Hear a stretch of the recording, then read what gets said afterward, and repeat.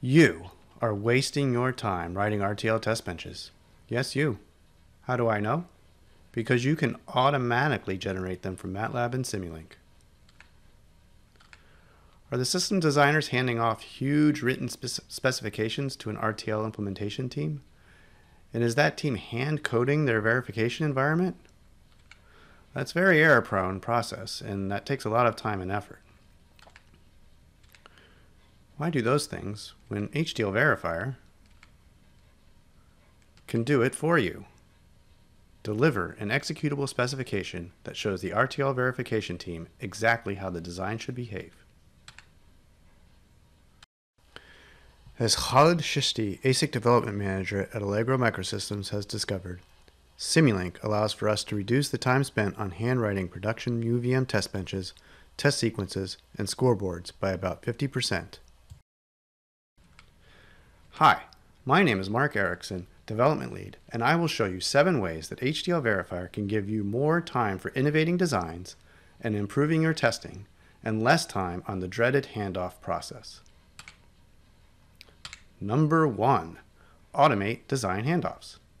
Use the same test bench created for the high-level system design and get the equivalent behavior in a standard extensible UVM test bench. Generate a simple stimulus DUT response checker trio. Add custom drivers, monitors, and predictor components as well. They all get a nice home in the UVM test bench. Execute the generated UVM as is using the provided run scripts to verify the handoff. Number two, extend and reuse. Derive new tests and sequences or take components into your own test benches using standard UVM. Use the power of UVM to extend and reuse, add new tests, or override pieces of the test bench, such as creating new sequences. Or reuse an individual piece in an existing UVM test bench of your own. Number three, assertions. Use Simulink assertions for system Verilog errors or custom system Verilog actions. Map Simulink assertions to system Verilog errors, warnings, or info messages. Or write an arbitrary system Verilog action, such as calling a function, to redirect the behavior of the test bench.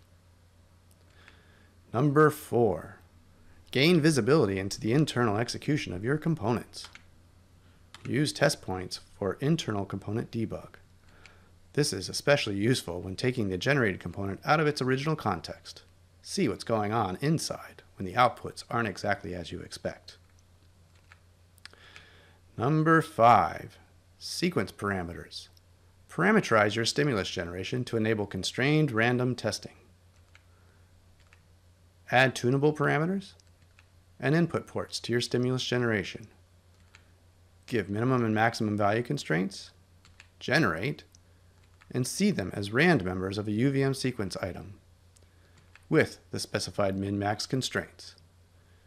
Extend the capabilities of the generated UVM by creating sophisticated, new constrained random tests using the full power of the System Verilog randomization engine. Number six, scoreboard parameters. Make your checker reusable in different test benches or test scenarios. Use tunable parameters for your Simulink response checker. Generate and get a configuration object in UVM that can be tweaked using the UVM config DB by your own tests. Update the parameter using a command line plus arg. Randomize the value using the default config object or extend the config object for more sophisticated randomization. Number seven, functional coverage. Ensure your same Simulink coverage instrumentation is around in your UVM test bench. Extend your testing to get more coverage. Add Simulink test assessment or sequence blocks for state-based functional coverage. Ensure you are meeting your test plan's functional coverage goals in Simulink generate UVM to instrument your design for the same functional coverage points, and simulate to see you get the same functional coverage in your UVM environment. If you have extended the test suite or sequence generation, set new coverage goals via command line plus arg. You can filter a verify assessment, increase the coverage coverage goal of a specific assessment, or log the pass, fail, and untested status for all assessments.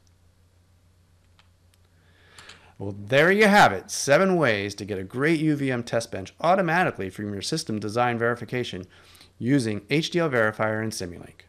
Stop wasting your time recoding and spend more time verifying. Or take longer coffee breaks. Try HDL Verifier today. For more information, click the links below.